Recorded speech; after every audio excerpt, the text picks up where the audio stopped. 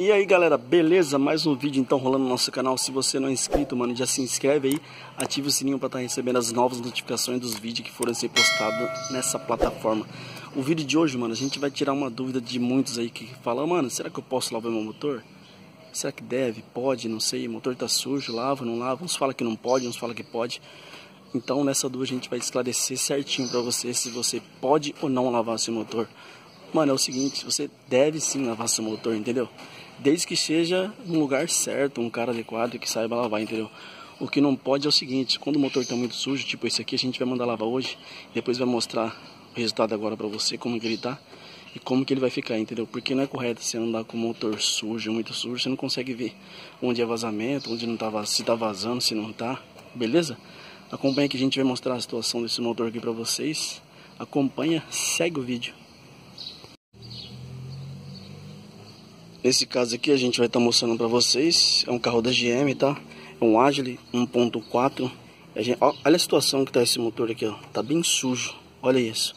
Ó. Tá vendo? A gente vai estar tá mandando dar uma lavada nele para ficar limpinho, bem organizado, certinho, cheio de folha, bastante, tá vendo? Sugiro ver se o cara já tira isso aqui também, essa marca de correia com barro de água, espirrou tudo aqui, ó. Tá vendo como tá bem sujo, ó. Ó, nas partes da vela aqui, na tampa de válvula aqui tá dando uma menejadinha. É bom lavar para ver se tá vazando aqui na junta ou se é nessa abraçadeira.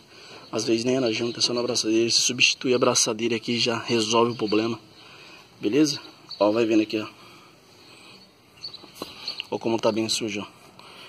Porque acontece? Tem muitos que não tem os dons de lavar muito certinho. O cara já vem, já mete o jato aqui, ó, com força, ó. Já não fica legal, entendeu? Que às vezes acontece, pode pegar num conector desse aqui que já tá meio solto. Aí com o jato ele pega, solta o circuito ali, já não dá mais sinal, entendeu?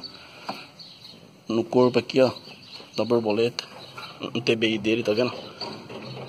Tem que lavar com jeito, com carinho, certinho, só passar aquele leque, um sabãozinho de leve e já tirar na água assim, só para tirar a sujeira, tá vendo?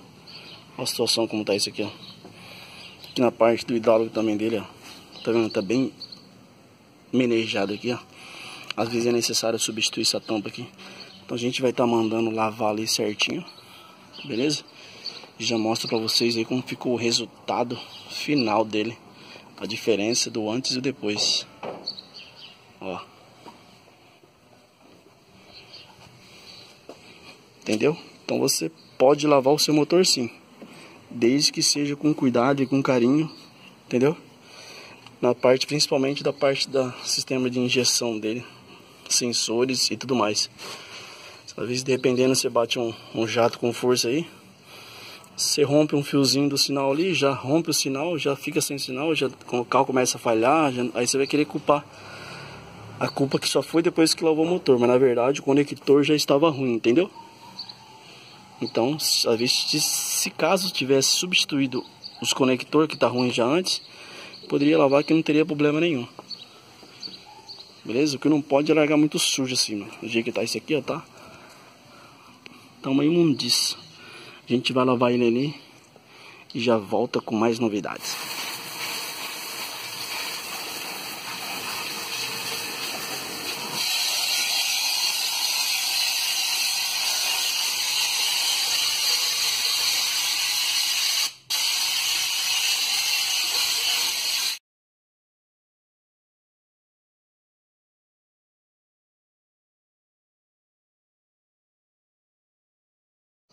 Olha então galera, a gente vai mostrar a finalização como ficou o motor limpinho, lavadinho, certinho. Beleza? Ficou show de bola, mano. Acompanha aí que vocês vão ver só. Dá...